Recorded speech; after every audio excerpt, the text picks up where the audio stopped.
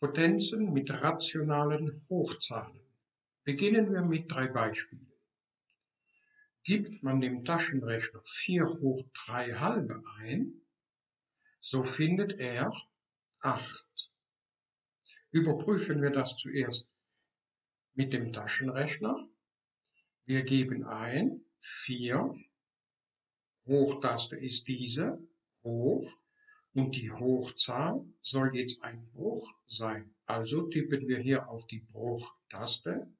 Oben geben wir 3 ein.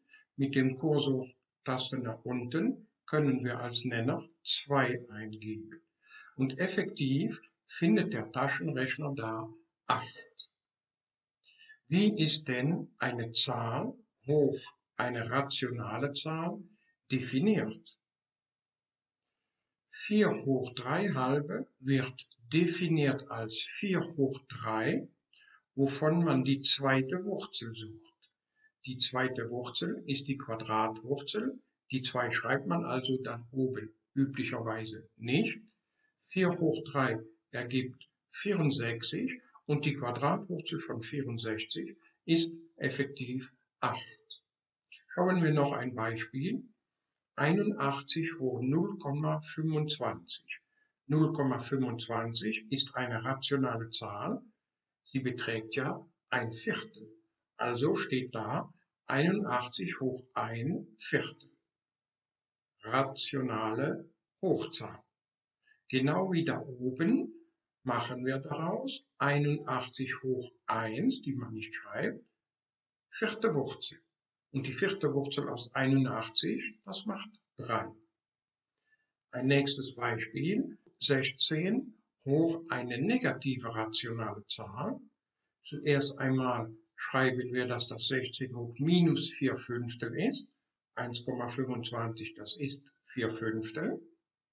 Genau wie bei ganzen Hochzahlen ändert jetzt die Potenz von Etage, indem der Exponent das Vorzeichen ändert. Und jetzt haben wir 16 hoch ein Bruch. Ähnlich wie da oben wird das also berechnet durch 16 hoch 5, wovon man die vierte Wurzel berechnet. 16 hoch 5 werden wir wegen dem Wurzelindex 4 noch zerlegen in 16 hoch 4 mal 16 hoch 1. Und das ist jetzt die vierte Wurzel vom Produkt. Das ergibt das Produkt der vierten Wurzeln vierte Wurzel aus 16 hoch 4 macht 16. Bleibt noch die vierte Wurzel aus 16 und die ergibt 2. 16 mal 2 gleich 32. Definieren wir jetzt eine Potenz mit rationaler Hochzahl. Definition. Für egal welche positive reelle Zahl a und für egal welche zwei natürliche Zahlen m und n aber jeweils verschieden von 0, gilt a hoch m auf n gleich a hoch m, wovon man die nte Wurzel berechnet. Und hier mit negativen Hochzahlen, wenn die Hochzahl ein Bruch ist,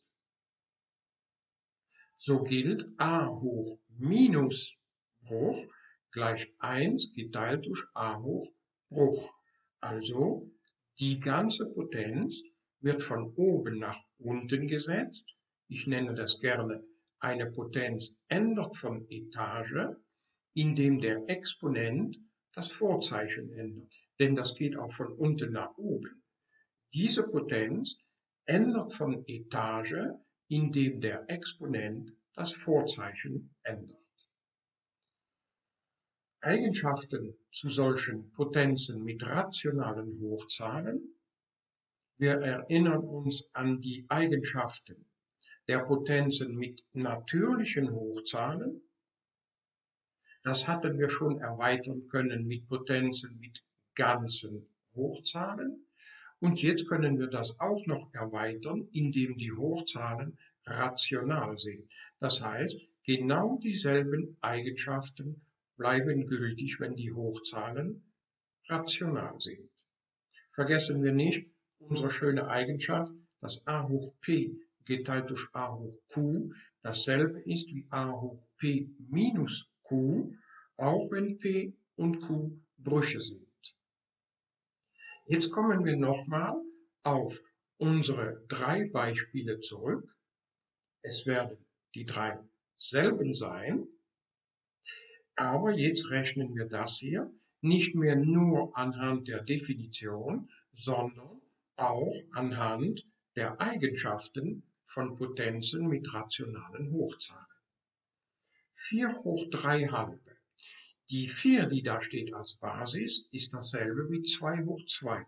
Verwandeln wir schon mal die 4 in 2 hoch 2.